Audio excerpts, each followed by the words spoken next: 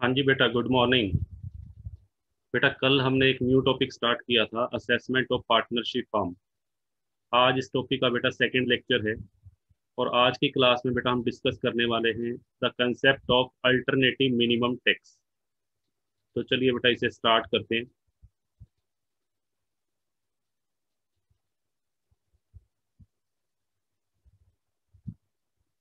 हाँ जी बेटा, इस कंसेप्ट को बेटा समझाने के लिए मैं बेटा एक एग्जांपल ले रहा हूँ। उस एग्जांपल की हेल्प से बेटा हम इसे समझेंगे। देखिएगा ध्यान से। हाँ जी बेटा, ये बेटा हमारी इंडियन गवर्नमेंट है। और ये बेटा हमारा टैक्स पेयर है। टैक्स पेयर बेटा मैंने अभी फ़िलहाल यहाँ पर एक इंडिविजुअल लिया है।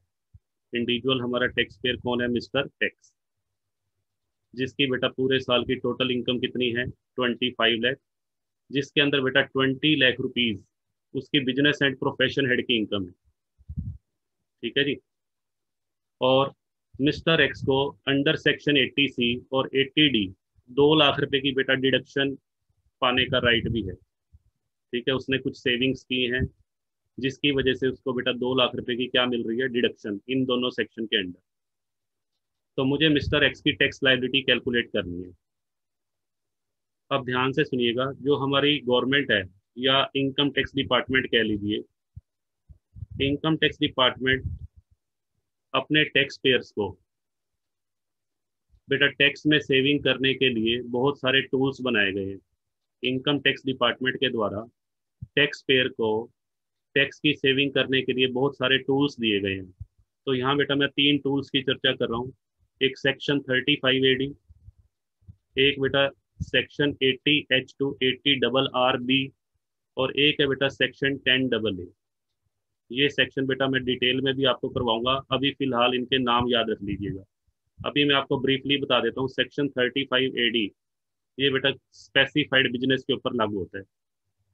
कुछ एक स्पेसिफाइड बिज़नेस की कैटेगरी में बिज़नेस आते हैं। उसके ऊपर बेटा ये सेक्शन एप्लीकेबल होगा। ठीक है जी? जैसे इंश्योरेंस बिज़नेस है। हाँ जी बेटा। कोल्ड चेन फैसिलिटी एक बिज़नेस आता है cold chain cold chain facility का बिज़नेस वो बेटा इसी में आता है थर्टी फाइव एडी तो बस अभी फ़िलहाल इसका सेक्शन याद रख लीजिएगा thirty five AD is related to specified business eighty H to eighty double R B ये बेटा जो सेक्शन है, ये डिडक्शन से रिलेटेड है। Deduction which are profit based in sections में गवर्नमेंट ने बेटा डिडक्शंस अलाउ किए हैं। कुछ स्पेशल इंडस्ट्रीज़ को या कुछ एक स्पेशल बिज़नेस के लिए। जैसे for example small scale industry small scale industry को बेटा जो डिडक्शन दी जाती है, वो इन्हीं सेक्शंस के अंडर दी जाएगी। ऐसे ही बेटा सपोज़ कीजिए कोई होटल है या कोई इंफ्रास्ट्रक्चर बिज़नेस है, इस तरह के जितने भी बिज़नेस हैं होटल हो गया स्मॉल स्केल इंडस्ट्री हो गई इंफ्रास्ट्रक्चर बिज़नेस हो गया, उनको डिडक्शन दी जाती है सेक्शन 80 एक्सेड 80 डबल आर बी के अंडर और सेक्शन टेन डबल ए। ये बेटा किसके लिए है? स्पेशल इकोनॉमिक जोन के लिए। ये बेटा स्पेशल इकोनॉमिक जोन के लिए बनाया गया है।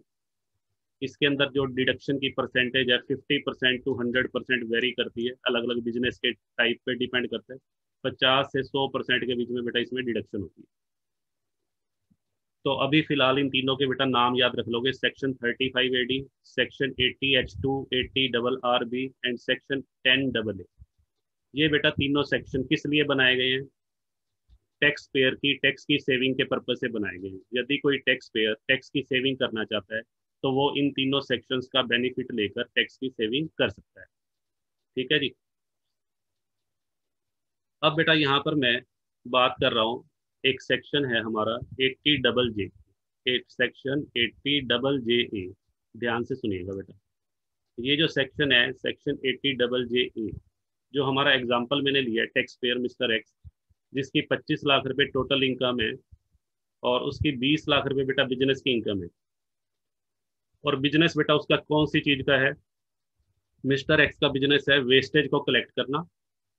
हाँ जी बेटा बायोडिग्रेडेबल वेस्ट होता है, कुछ वेस्टेज ऐसा होता है जिसको रिसाइकलिंग करके यूजफुल प्रोडक्ट में कन्वर्ट किया जा सकता है। वेस्ट बेटा कई तरह का होता है तो यहाँ पर मैं ऐसे वेस्ट की बात कर रहा हूँ जो बायोडिग्रेडेबल वेस्ट बायोडिग्रेडेबल का मतलब जिसको बेटा उसकी साइकिलिंग करके, जिसको किसी यूजफुल चीज़ में कन्वर्ट किया जा सकता है।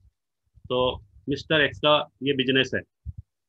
और गवर्नमेंट ने गवर्नमेंट कहती है कि कोई भी व्यक्ति अगर इस टाइप का बिज़नेस करेगा तो उसको section eighty double J A के अनुसार पाँच सालों तक हंड्रेड परसेंट छूट मिलेगी। जितना भी प्रॉफिट वो कमाएगा उस बिज़नेस से। उसको सौ परसेंट डिडक्शन दी जाएगी। कितने सालों तक बेटा? पाँच सालों तक। ठीक है? तो अब यहाँ पर देखते हैं। यहाँ पर बेटा मुझे मिस्टर एक्स की टैक्स लाइबिलिटी निकालनी है। तो चलिए, मिस्टर एक्स की बेटा एक बार टैक्स लाइबिलिटी हम कैलकुलेट करके देखते हैं कितनी आएगी।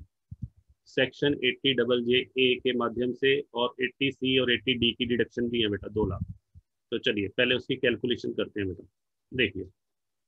सारी बातें बेटा समझ में आएँगी। बस आप कंसंट्रेशन से लेक्चर सुनते रहिए और बाद में बेटा नोट्स भी बनाने हैं। देखिए, सबसे पहले मैं बेटा मिस्टर एक्स की टैक्स लाइबिलिटी की कैलकुलेशन कर रहा हूँ। तो टैक्स ऑफ़ मिस्टर एक्स हाँ जी बेटा, ध्यान से देखिएगा। सबसे पहले हाँ जी बेटा, ये जी टी आई है जी ग्रॉस टोटल इनकम हाँ जी बेटा ग्रोस टोटल इनकम बेटा है ट्वेंटी फाइव लैख हाँ जी तो पच्चीस लाख रुपए की ग्रॉस टोटल इनकम है। इसमें से डिडक्शंस लेस करनी है हमें। एट्टी सी टू एट्टी तो eighty C and eighty D की बेटा डिडक्शन दी हुई है आपको। एट्टी सी और एट्टी डी की डिडक्शन का अमाउंट बेटा कितना दिया हुआ है? दो लाख रुपए। तो पच्चीस लाख में से बेटा दो लाख गया तेईस लाख। फिर बेटा उसको डिडक्शन मिलेगी। Eighty double J A eighty double J section बेटा इसमें आता है। एट्टी एच से लेकर eighty R double R B के बीच में कई सेक्शन आएँगे। ये जो मैंने रेंज लिखवाई है eighty H to eighty double R B इसमें बेटा एट्टी आई भी आएगा एट्टी जे भी आएगा, ठीक है? तो बहुत सारे सेक्शन बेटा इसमें आने वाले हैं। तो eighty double J A mister X बेटा किस चीज़ का बिज़नेस कर रहा है? बायोडिग्रेडेबल वेस्ट और उसकी प्रोसेसिंग का। और eighty double J A section क्या कहता है? हंड्रेड परसेंट डिडक्शन मिलेगी प्रॉफिट्स की और कितने सालों तक? पाँच सालों तक। तो यहाँ पे देखो बेटा, मिस्टर एक्स को कितने रुपए का प्रॉफिट हुआ था उस बिज़नेस से? बीस लाख का बेटा प्रॉफिट हुआ उसको। तो बीस लाख रुपए बेटा यहाँ माइनस कर दो। तो यहाँ पे बेटा अगर मैं बात करूँ, मिस्टर एक्स की टोटल इनकम कितनी रह गई? जिस पे टैक्स लगेगा वो रह गई बेटा सिर्फ़ तीन हाँ जी बेटा, मिस्टर एक्स की टोटल इनकम बेटा कितनी रह गई? तीन लाख रुपए रह गई अब इस टोटल इनकम पे बेटा क्या कंप्यूट करेंगे? इस टोटल इनकम पे कैलकुलेट होगा टैक्स तो टैक्स कैसे कैलकुलेट करते हैं? टैक्स निकालते हुए बेटा पहले देखना है कि क्या इसके अंदर कोई स्पेशल इनकम तो शामिल नहीं है?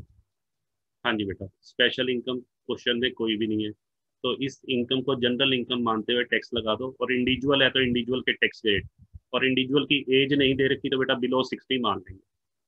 तो कैसे निकालेंगे लो बेटा निकाल दिया। पहले ढाई लाख। पहले ढाई लाख तक बेटा नील। पहले ढाई लाख तक नील के बाद बेटा नेक्स्ट नेक्स्ट फिफ्टी थाउज़ेंड पचास हज़ार ही बेटे बचे बेटा, पचास हज़ार का पाँच परसेंट। हाँ जी बेटा, पच्चीस सौ रुपये। तो बेटा सिर्फ़ ढाई हज़ार रुपये टैक्स बना। और क्योंकि बेटा ये इंडिविजुअल है इंडिविजुअल है तो बेटा इसके ऊपर तो रिबेट भी लगेगी। और इसकी टोटल इनकम पहले ये देखो टोटल इनकम पाँच लाख रुपए से कम है। टोटल इनकम बेटा जब पाँच लाख रुपए तक हो तो रिबेट भी मिलती है। लो बेटा रिबेट भी घटा देते हैं। Rebate under section eighty seven A बारह हज़ार पाँच सौ की रिबेट होती है। हाँ जी बेटा बट यहाँ तो पच्चीस सौ रुपये ही है तो ये बेटा माइनस कर देंगे। तो ये बेटा हमारा क्या आ गया? नील आ गया। लो जी।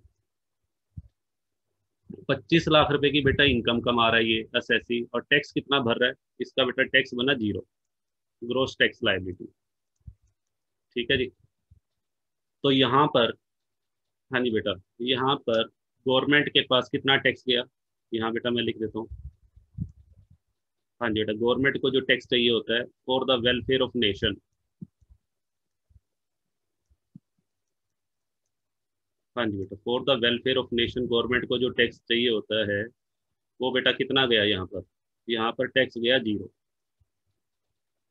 ठीक है जी? अब मुझे बेटा एक बात बताओ, जब गवर्नमेंट के पास ज़ीरो रुपये टैक्स जाएगा, और इस तरीके से पता नहीं कितने टैक्स पेयर होंगे जिन्होंने इन सेक्शंस का बेनिफिट लेकर हाँ जी बेटा सेक्शंस का बेनिफिट लेकर अपनी टैक्स लाइबिलिटी को क्या किया होगा? कम किया होगा। कुछ टैक्स पेयर तो ऐसे होंगे जो ज़ीरो टैक्स पेयर है, जिनका जिनका टैक्स बिल्कुल ज़ीरो बनता है, जैसे हमारे एग्ज़ाम्पल में मिस्टर एक्स का बना, और कुछ केसेस ऐसे भी होंगे जब टैक्स पेयर की लाइबिलिटी बेटा मार्जिनल बनती होगी। मार्जिनल का मतलब थोड़ी सी ठीक है? तो दोनों ही केस में बेटा गवर्नमेंट को क्या हो रहा है? नुकसान हो रहा है। गवर्नमेंट फिर देश का विकास पे जो खर्चा करना है, वो कैसे गवर्नमेंट कैसे करेगी? तो गवर्नमेंट ने इस बात का सॉल्यूशन निकाला। हाँ जी बेटा, जो हमारी इंडियन गवर्नमेंट है, उसने इस बात का सॉल्यूशन किसके माध्यम से निकाला? उसके लिए एक कंसेप्ट इंट्रोड्यूस किया गया। उस कंसेप्ट का नाम बेटा क्या है? Concept of alternative minimum tax ये कंसेप्ट इस तरीके से डिज़ाइन किया गया है कि जिससे गवर्नमेंट का जो कैश इनफ्लो है, वो भी डिस्टर्ब ना हो। गवर्नमेंट के पास जो बेटा टैक्स के माध्यम से जो पैसा आना है, वो भी आता रहे। गवर्नमेंट की नीड्स भी पूरी होती रहे। और दूसरी तरफ़ हाँ जी बेटा, मैं यहाँ लिख देता हूँ नीड ऑफ़ गवर्नमेंट बेटा ये भी फुलफिल होती रहे। और साथ में जो सेक्शन बनाया गया था एट्टी डबल जे ए या जितने भी सेक्शंस बनाए गए हैं, उनकी जो इंटेंशन थी उस पर भी बेटा कोई असर नहीं पड़ना चाहिए। No effect on the deduction no effect on deduction ठीक है जी? तो अल्टरनेटिव मिनिमम टैक्स बेटा एक ऐसा कंसेप्ट है जो गवर्नमेंट ने किस पर्पज के लिए बनाया है? अपनी कैश नीड्स को फुलफिल करने के लिए। गवर्नमेंट को जो वेलफेयर के लिए कंट्री के वेलफेयर के लिए जो पैसा चाहिए, वो भी आता रहे। और दूसरी तरफ़ गवर्नमेंट ने टैक्स पेयर को, जो तरह तरह के इंसेंटिव दिए हैं, या तरह तरह की डिडक्शन दिए हैं, उन पे भी बेटा कोई असर ना पड़े। अब क्वेश्चन राइज होता है कि ऐसा कैसे होगा? गवर्नमेंट ने क्या ऐसा बनाया? क्या ऐसा गवर्नमेंट ने जादू किया है? या कैसा फॉर्मूला बनाया है जिसकी हेल्प से दोनों काम बन जाए? तो उसके लिए बेटा हमें अल्टरनेटिव मिनिमम टैक्स का कंसेप्ट सीखना होगा। अभी मैं इस कंसेप्ट को यहीं पर आपको बताऊँगा, इसी स्लाइड में ब्रीफली देखिए। गवर्नमेंट ने बेटा क्या किया यहाँ पर? लो बेटा, मैं कलर चेंज कर लेता हूँ। हाँ जी बेटा, गवर्नमेंट ने क्या किया? गवर्नमेंट ने बेटा एक कंसेप्ट इंट्रोड्यूस किया ए एम टी का इस कंसेप्ट में गवर्नमेंट ने कहा कि हम टैक्स लेंगे एडजस्टेड टोटल इनकम पे। हाँ जी बेटा। टैक्स लेंगे किस पे? एडजस्टेड टोटल इनकम पे। ठीक है जी? और किस रेट से लेंगे? 18.5 परसेंट। गवर्नमेंट ने एक टैक्स का रेट बता दिया 18.5 और प्लस इसमें बेटा सरचार्ज भी जुड़ेगा अलग से। प्लस सरचार्ज अगर एप्लीकेबल है और सेस वो बेटा अलग से जुड़ेगा। तो गवर्नमेंट ने सबसे पहले इसको डिज़ाइन किया कि एडजस्टेड टोटल इनकम कैसे निकाली जाए। तो उसके लिए बेटा गवर्नमेंट ने क्या किया, देखिए। गवर्नमेंट कहती है कि जो एक व्यक्ति की नॉर्मल जो टोटल इनकम आई थी। हाँ जी बेटा, एक व्यक्ति की जो नॉर्मल टोटल इनकम है, तीन लाख, जो आपने नॉर्मल मेथड से निकाली थी। ठीक है जी? गवर्नमेंट कहती है, इसमें एक बार वो सारी डिडक्शन ऐड कर दो, जो इन तीनों से बिलोंग करती है। जो इन तीनों से बिलोंग करती है, वो सारी डिडक्शन ऐड कर दो। अब इन तीनों में से जो बिलोंग करती है, वो तो यहाँ पर तो बेटा एक ही मैंने लिया है, eighty double J A. Eighty double J इस क्वेश्चन में ना तो section thirty five A D का मैंने कोई ज़िक्र किया है, ना सेक्शन टेन डबल ए का कोई ज़िक्र किया है। मैंने अपने एग्ज़ाम्पल में सिर्फ़ किसको कंसिडर किया? एट्टी डबल जे तो according to A M T concept alternative minimum tax concept बेटा हम section eighty double J A को एक बार ऐड कर देंगे। ऐड कर दिया बेटा मैंने। ऐड कर दिया तो ये बेटा बीस लाख रुपए ऐड कर दो इसमें। तो यहाँ बेटा तेईस लाख रुपए आ गया। अब ध्यान से सुनिएगा, इस तेईस लाख पे टैक्स लगेगा 18.5 परसेंट गवर्नमेंट ने एक एवरेज टैक्स का रेट निकाल दिया 18.5 तो 23 लाख के ऊपर बेटा, अगर हम 18.5 को अप्लाई करें तो ये बेटा लगभग आएगा, ये मैंने कैलकुलेशन पहले से एडवांस में करके रखी हुई है आपके लिए, ताकि समय बर्बाद ना हो। चार लाख पच्चीस हज़ार पाँच सौ। इसमें बेटा चार परसेंट सर चार्ज बेटा लगेगा नहीं सर चार्ज तब लगता है जब इंडिविजुअल की इनकम पचास लाख से ज़्यादा हो तो यहाँ तो इंडिविजुअल की इनकम ही बेटा कितनी है? टोटल इनकम टोटल इनकम उसकी बनी थी तीन लाख। तो यहाँ पे बेटा क्या करेंगे? चार परसेंट यहाँ पे इसको देखना है। एडजस्टेड टोटल इनकम बेटा तेईस लाख है, पचास लाख नहीं है। तो चार परसेंट बेटा क्या जोड़ देंगे? सेस जोड़ देंगे। फोर परसेंट बेटा फोर सेस सेस कौन सा? हेल्थ एंड एजुकेशन से तो चार परसेंट बेटा ये बनेगा आई थिंक सत्रह हज़ार बीस रुपये बेटा बनेगा। इसको बेटा ऐड कर दिया तो ये बनेगा चार लाख बयालीस हज़ार पाँच सौ बीस। इतने रुपए बेटा टैक्स बन गया तो गवर्नमेंट क्या कहती है कि जो अल्टरनेटिव मिनिमम टैक्स है हाँ जी बेटा, जो अल्टरनेटिव मिनिमम टैक्स होगा। और दूसरा दूसरा टैक्स बेटा जो पहले नॉर्मल इनकम पे नॉर्मल तरीके से निकाला था, वो कितना था? नील वो टैक्स बना था नील दोनों में जो हाइयर होगा ना, वो टैक्स गवर्नमेंट को देना पड़ेगा हमें। गवर्नमेंट को बेटा जो इन दोनों को कंपेयर कंपेयर कर लेना tax calculated as per normal normal method and tax calculated as per alternative minimum tax method दोनों में बेटा जो क्या होगा हाइयर होगा। दोनों में बेटा जो हाइयर होगा, ध्यान से सुनिए, वो हमें पे करना पड़ेगा। तो दोनों में हाइयर कौन सा अमाउंट है? चार लाख बयालीस हज़ार पाँच सौ बीस। हाँ जी बेटा। Tax paid by X X को बेटा कितना टैक्स पे करना पड़ेगा? चार लाख बयालीस हज़ार पाँच सौ बीस अब बेटा एक बात बताओ मुझे। ठीक है जी, मुझे आपका रिप्लाई चाहिए। जब मिस्टर एक्स मिस्टर एक्स को जहाँ ज़ीरो रुपए देने थे टैक्स के सरकार को, अब सरकार को वो या इनकम टैक्स डिपार्टमेंट को कितने रुपए देने पड़ रहे हैं? चार लाख बयालीस हज़ार पाँच सौ बीस। तो ये बताओ, क्या मिस्टर एक्स को दर्द होगा या नहीं होगा? बिल्कुल होगा। इससे ये बात प्रूव होती है कि मर्द को दर्द होता है। हाँ जी बेटा। मिस्टर एक्स को दर्द बेटा ज़रूर होगा, क्योंकि जहाँ उसने ज़ीरो रुपया टैक्स पे करना था, वहाँ उसको चार लाख बयालीस हज़ार पाँच सौ बीस रुपये बेटा टैक्स के देने पड़ गए। तो पेन तो होगा। तो गवर्नमेंट क्या कहती है या इनकम टैक्स डिपार्टमेंट क्या कहता है? मिस्टर एक्स को चिंता मत करो, हम आपके दर्द का निवारण करते हैं अभी। तो एक्स ने कहा, हाउ, कैसे करेंगे आप? तो इनकम टैक्स डिपार्टमेंट क्या कहता है बेटा? कहता है, आज तो हम आपसे चार लाख बयालीस हज़ार पाँच सौ बीस रुपये ले रहे हैं। और टैक्स आपका कितना बनता था? ज़ीरो तो सबसे पहले एक्सेस निकाल लेंगे एक्सेस चार लाख बयालीस हज़ार पाँच सौ बीस रुपये टैक्स दिया उसने, और बनता कितना था? ज़ीरो तो कितना फालतू पे किया?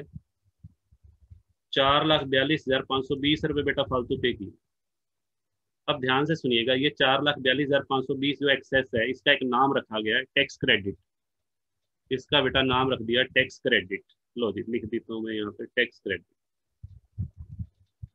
अब बेटा ये जो टैक्स क्रेडिट है, सुनिएगा ध्यान से, ये जो टैक्स क्रेडिट है इनकम टैक्स डिपार्टमेंट कहता है, मैं इसका फ्यूचर में फ़ायदा दूँगा अगले साल, अगले सालों में आपको इसका बेनिफिट दूँगा। ठीक है जी, चार लाख बयालीस हज़ार पाँच सौ बीस रुपए का बेनिफिट कहता है, मैं अगले पंद्रह साल तक आप इसका बेनिफिट लोगे। कितने सालों तक? पंद्रह सालों तक। ठीक है जी, कैसे दोगे? मिस्टर एक्स ने पूछा जी, कैसे दोगे ये बेनिफिट तो इनकम टैक्स डिपार्टमेंट क्या कहता है? कहते हैं, जिस साल भी आपका नॉर्मल इनकम पे जो टैक्स होगा, यदि वो ज़्यादा बनेगा एएमटी से, जैसे मान लीजिए, इस साल तो क्या था? इस साल तो एएमटी वाला टैक्स ज़्यादा बना था। किससे ज़्यादा बना था? नॉर्मल टैक्स से। मान लीजिए नेक्स्ट ईयर नेक्स्ट ईयर बेटा क्या हुआ? ये मैं मान लेता हूँ, ये हमारा ईयर था उन्नीस बीस। ठीक है जी? उन्नीस बीस की चर्चा हो रही थी। अब मैं बीस इक्कीस की बात कर रहा हूँ। बीस इक्कीस में बेटा क्या हुआ? बीस इक्कीस में जो नॉर्मल टैक्स बना हाँ जी बेटा नॉर्मल टैक्स बना सपोज़ करो नॉर्मल टैक्स बेटा बना बाईस लाख। ठीक है? मैं ज्यूम कर रहा हूँ, चलो दो लाख बीस हज़ार। नॉर्मल टैक्स भी दो बीस बना। और अल्टरनेटिव मिनिमम टैक्स बना बेटा सपोज़ करो तो ये बना सपोज़ करो एक लाख। तो अब मुझे ये बताओ, पहले तो दोनों में से कौन सा पे करना होता है? हाँ जी बेटा, बीस इक्कीस में उसको कौन सा टैक्स पे करना होगा? रूल क्या होता है? विच एवरेज हाइयर जो भी दोनों में क्या होगा? हाइयर होगा। हाँ जी बेटा तो अब नॉर्मल टैक्स तो बना दो बीस, और अल्टरनेटिव मिनिमम टैक्स बेटा बना एक लाख। तो विच एवरेज हायर दो लाख बीस हज़ार रुपये टैक्स के भरने हैं इस साल, बीस इक्कीस में। किसको? मिस्टर एक्स को। अब ध्यान से सुनिए मिस्टर एक्स दो लाख बीस हज़ार रुपये इस साल भरने के लिए लाइबल है। बट वो कहेगा, जी, पिछले साल भी मैंने फालतू दिया हुआ था। तो पिछले साल का जो पैसा है, वो गवर्नमेंट कहती है, हम एडजस्ट करेंगे। ठीक है जी? पिछले साल का जो क्रेडिट है टैक्स क्रेडिट उसको माइनस कर गवर्नमेंट यहाँ पे उसकी डिडक्शन देगी। तो यहाँ पे बेटा उसका बेनिफिट मिलेगा लेस अब बेनिफिट सुनना ध्यान से। बेनिफिट उतना मिलेगा। बेनिफिट चार लाख बयालीस हज़ार पाँच सौ बीस में से अभी गवर्नमेंट कितने का फ़ायदा दे देगी उसको? दो लाख बीस हज़ार रुपये का फ़ायदा दे देगी। और उसकी टैक्स लाइलिटी बेटा क्या हो जाएगी? नील। कौन से ईयर की टैक्स लाइलिटी नील हो गई?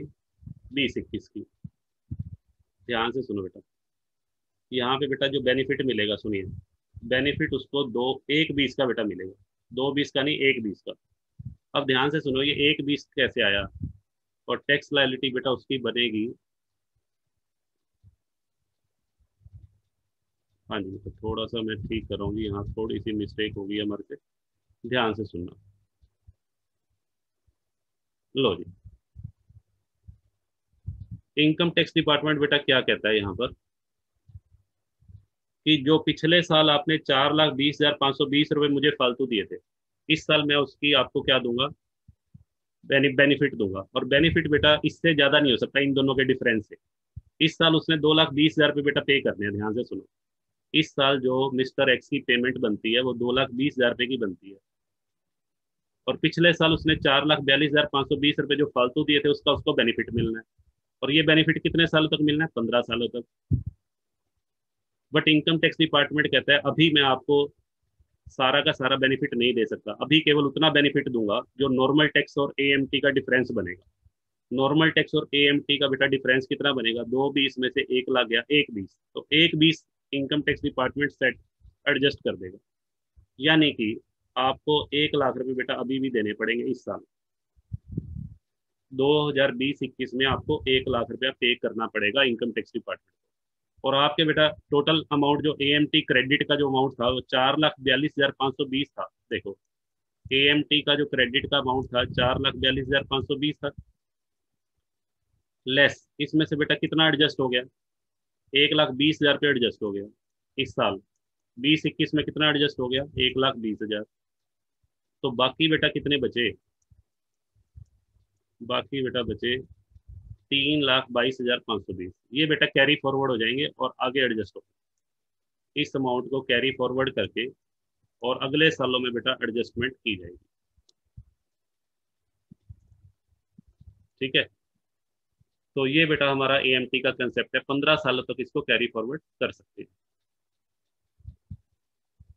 तो होप सो बेटा आपको अच्छे से समझ में आया होगा। अब आप कहोगे, सर, ये तो बहुत ज़्यादा ओवर हो गया। हमें दोबारा से समझाइए। बेटा, मैं अभी अपना लेक्चर ख़त्म नहीं कर रहा। अभी हमारा लेक्चर हाफ़ हुआ है। अभी सारी बातें आपको समझ में आएँगी और आपसे मैं क्वेश्चन भी निकलवा के देखूँगा और आप हंड्रेड परसेंट उसे सम को निकालो ठीक है जी? आप टेंशन ना ले, किसी भी चीज़ की, अपनी सारी चिंताएँ मेरे ऊपर छोड़ दीजिए। चलिए, आगे बढ़ते हैं हम। देखो, अभी सारी बातें मैं रिपीट करूँगा। एक एग्ज़ाम्पल लेके। लो बेटा, इसे मैं अब मैं आ जाता हूँ बेटा अपनी दूसरी स्लाइड पे। लो बेटा, यहाँ आ गए हाँ जी बेटा, ये सब बेटा मैं बता चुका हूँ, इसको रीड कर लीजिएगा और इसके नोट्स बना लीजिएगा इसके। कि ए का कंसेप्ट क्यों इंट्रोड्यूस किया? हाँ जी बेटा, अब आता है what is alternative minimum tax तो सबसे पहले बेटा आपको सेक्शन ध्यान रखना है। अल्टरनेटिव मिनिमम टैक्स के लिए बेटा जो सेक्शन है वो हमारा कौन सा है? 115 जे सी ये बेटा हमारा सेक्शन है। और टैक्स किस पे लगता है इसमें? एडजस्टेड टोटल इनकम ध्यान से सुनते जाइए अब सारी, अब बेटा फटाफट हो जाएगा, आप टेंशन ना लें। एडजस्टेड टोटल इनकम अठारह पॉइंट परसेंट बेटा रेट है। और प्लस सरचार्ज भी बेटा लगेगा और सेस भी लगेगा। और इसको हम बोलते क्या हैं? A M T short form में एक बेटा मैट भी होता है। मिनिमम अल्टरनेटिव टैक्स वो यहाँ पे नहीं लगेगा, वो कंपनीज़ पे लगता है। ठीक है, एक ए होता है, एक बेटा मैट भी होता है। ध्यान रखना दोनों में डिफरेंस मैट सिर्फ़ कौन से एसएससी के लिए है? कॉरपोरेट एस के लिए। तो एग्ज़ाम के अंदर बेटा मैट मत लिख देना यहाँ। मैट लिखते ही आपका टीचर आपको ज़ीरो नंबर दे देगा। ये ध्यान रखना, ये अल्टरनेटिव वर्ड पहले है। मिनिमम टैक्स अगर आपने पेपर में इसको ऐसे लिख दिया ना मिनिमम अल्टरनेटिव टैक्स तो एग्जामिनर बेटा क्रॉस लगाते हुए देर नहीं लगाएगा और ज़ीरो मार्क्स दे देगा आपको। ठीक है? तो अल्टरनेटिव मिनिमम टैक्स ध्यान रखना। मैट भी है एक कंसेप्ट मैट लगता है कंपनीज़ के ऊपर। चलिए, हम आगे मूव करते हैं। ये तो बेटा हमने कर दिया टैक्स का रेट अब आता है कि मैट एप्लीकेबल किस किस एस पर होता है। हाँ जी बेटा, सुनिए ध्यान से। सबसे पहले बेटा मैं बात कर रहा हूँ individual H U F AOP BOI और आर्टिफिशियल जुडिशियल पर्सन इनके ऊपर मैट अप्लाई होता है या नहीं?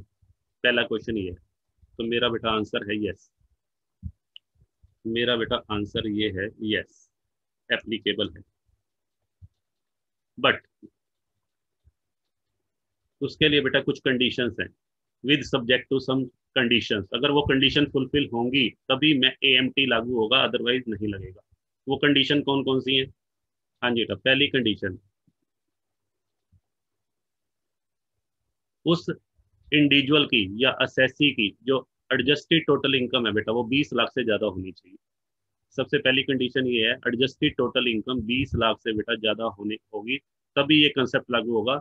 अगर 20 लाख से कम है एडजस्टेड टोटल इनकम तो उस केस में बेटा एएमटी का कंसेप्ट लागू नहीं होगा। पहली कंडीशन दूसरी।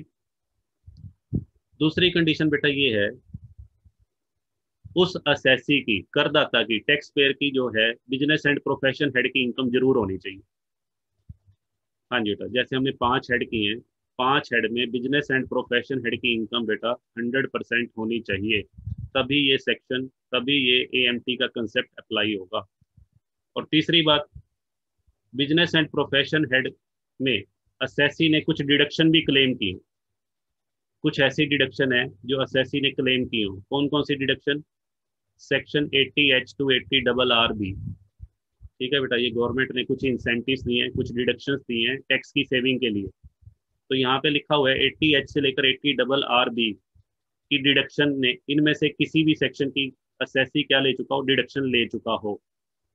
एक्सेप्ट एटीपी एटीपी को छोड़कर एटीपी को बेटा बाहर कर हालाँकि पी जो अल्फ़ाबेट है वो एच और आर के बीच में आता है तो एटीपी सेक्शन को छोड़कर बाकी कोई सा भी सेक्शन हो जैसे एटी आई है एटी आई ए है एटी आई बी है एटी आई सी है फिर बेटा एटी डबल क्यू है एटी डबल क्यू बी है एटी डबल जे है वो सारे सेक्शन जो है उनमें से किसी भी सेक्शन के अंडर अगर उसने डिडक्शन दी है तो ए का कंसेप्ट लागू होगा या फिर उसने section thirty five A D की डिडक्शन वो ले चुका हो, या फिर बेटा वो सेक्शन टेन डबल ए की डिडक्शन ले चुका अभी सिर्फ़ इनके बेटा मैं बार बार बोल रहा हूँ, इनके सिर्फ़ नाम याद रखने हैं, ठीक है जी?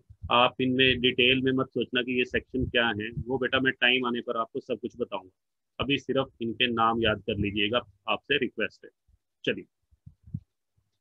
ये तो बेटा हो गई इंडिविजुअल एचयूएफ के बारे में। तीन कंडीशन बेटा मैं रिपीट कर रहा हूँ। सबसे पहली कंडीशन क्या थी? Adjusted total income twenty lakh से ज़्यादा होनी चाहिए। ठीक है बेटा? बिज़नेस एंड प्रोफेशन हेड की इनकम ज़रूर से ज़रूर होनी चाहिए। और असेसी ने डिडक्शन क्लेम की हो। कौन कौन से सेक्शन की? ज़रूरी नहीं है बेटा सभी सेक्शन की। कोई एक सेक्शन भी हो सकता है, कोई दो भी हो सकते हैं। तो इसीलिए और वर्ड यूज़ किया ठीक है? चलिए। ये तो बेटा हो गया individual H U F AOP BOI के लिए। अब बात करते हैं फॉर्म के लिए। क्या फॉर्म के ऊपर ये सेक्शन एप्लीकेबल है या नहीं है? यस और नो हाँ जी बेटा तो हम चैप्टर किसका कर रहे हैं? फॉर्म का कर रहे हैं। और फॉर्म के चैप्टर में जब मैं ये बता रहा हूँ आपको तो यस एप्लीकेबल है। बट यहाँ ध्यान रखिएगा फॉर्म के केस में, जैसे बेटा यहाँ मैंने तीन कंडीशन बताई। हाँ जी फॉर्म के केस में जो पहली कंडीशन है, जिसमें लिखा हुआ एडजस्टेड टोटल इनकम 20 लाख से ज़्यादा होनी चाहिए, इसकी कोई ये कंडीशन नहीं है फ़र्स्ट वाली। बाकी दोनों बेटा हैं। Profit and gain business and profession head की इनकम होनी चाहिए। बिज़नेस एंड प्रोफेशन हेड की इनकम तो बेटा होगी होगी, क्योंकि फॉर्म है। फॉर्म तो बेटा बिज़नेस ही तो रन कर रही है। फॉर्म किस पर्पज से बनाई जाती है बेटा? बिज़नेस रन करने। बिज़नेस गुड्स का भी हो सकता है सर्विसेज़ का भी हो सकता है। तो ये तो बेटा होगा ही होगा। और तीसरी चीज़ जो बेटा सबसे इंपॉर्टेंट है, ये जो सेक्शन मैंने लिखवाए हैं, इन सेक्शंस के अंडर फॉर्म ने क्या क्लेम की हो डिडक्शन क्लेम की हो?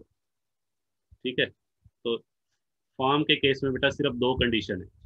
फॉर्म के केस में 20 लाख की जो लिमिट वाली डिडक्शन है, ये सॉरी कंडीशन है, इसकी कोई ज़रूरत नहीं है। यानी कि चाहे फॉर्म की एडजस्टेड टोटल इनकम 20 लाख से बेटा कम बने, चाहे 20 लाख से क्या बने, ज़्यादा बने। फॉर्म के केस में अल्टरनेटिव मिनिमम टैक्स का कंसेप्ट लागू होगा ही होगा। और फिर बेटा आता है नेक्स्ट नेक्स्ट क्या बताया? कॉरपोरेट एसेसी कॉरपोरेट एसेसी बेटा मतलब कंपनी तो कंपनी के केस में क्या ये कंसेप्ट लागू होगा? तो आंसर इज़ नो क्योंकि बेटा मैंने आपको एक बात बताई थी कंपनी के केस में कौन सा कंसेप्ट लगता है? मैट मैट का कंसेप्ट होता है बेटा मिनिमम अल्टरनेट टैक्स तो ये बेटा एक सेपरेट कंसेप्ट है, इसमें कैलकुलेशन करने का तरीका भी अलग है। बट यहाँ पर जो हमारा कंसेप्ट है ए एम टी हाँ बेसिक पर्पज बेटा दोनों के पीछे सेम है। ए एम टी और एम ए टी के एम ए टी के पीछे जो पर्पज है, वो सेम है। और इन दोनों में से पहले जो इंट्रोड्यूस किया गया था, पहले मैट इंट्रोड्यूस किया गया था कंपनीज़ के लिए। ये कंसेप्ट बेटा बाद में इंट्रोड्यूस किया गवर्नमेंट ने।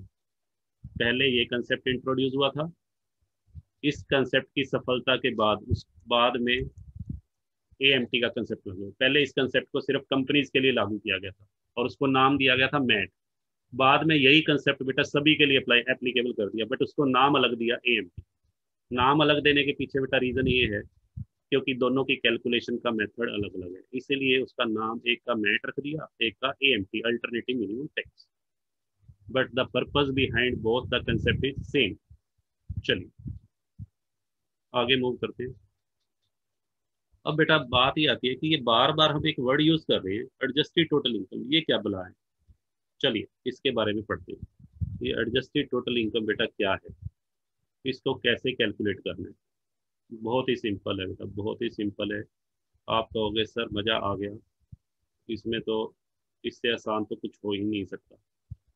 देखिए हाँ जी बेटा, क्या करना है आपको?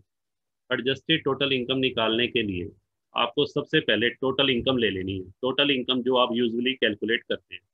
टोटल इनकम का मतलब G T I minus deduction inter section eighty C to eighty ये क्वेश्चन में आपको गिवन होगी। टोटल इनकम बेटा आपको गिवन होगी। आपने वो ले लेनी है। और अभी मैंने बताया eighty H to eighty double R B जितनी भी डिडक्शन है एट्टी पी को छोड़कर वो ऐड कर देंगे। Section eighty ten double A जो किस पे लागू होता है? स्पेशल इकोनॉमिक जोन पे। स्पेशल इकोनॉमिक जोन के ऊपर बेटा ये एप्लीकेबल होता है। ये ऐड कर देंगे। सेक्शन थर्टी फाइव एडी ये स्पेसिफाइड बिज़नेस के ऊपर लागू होता है।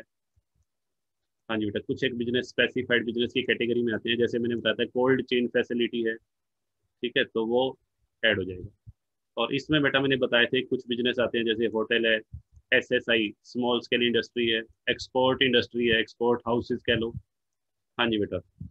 और इसके अंदर ले सकते हो इंफ्रास्ट्रक्चर बिज़नेस हाँ जी बेटा, जिनका इंफ्रास्ट्रक्चर का बिज़नेस है। तो बहुत सारी बेटा इसमें डिडक्शन है बट हमें सिर्फ़ सिर्फ़ वही बात कर रहा हूँ कि इनके नाम याद रखने हैं, बस उन्हीं से हमारा काम चल जाएगा।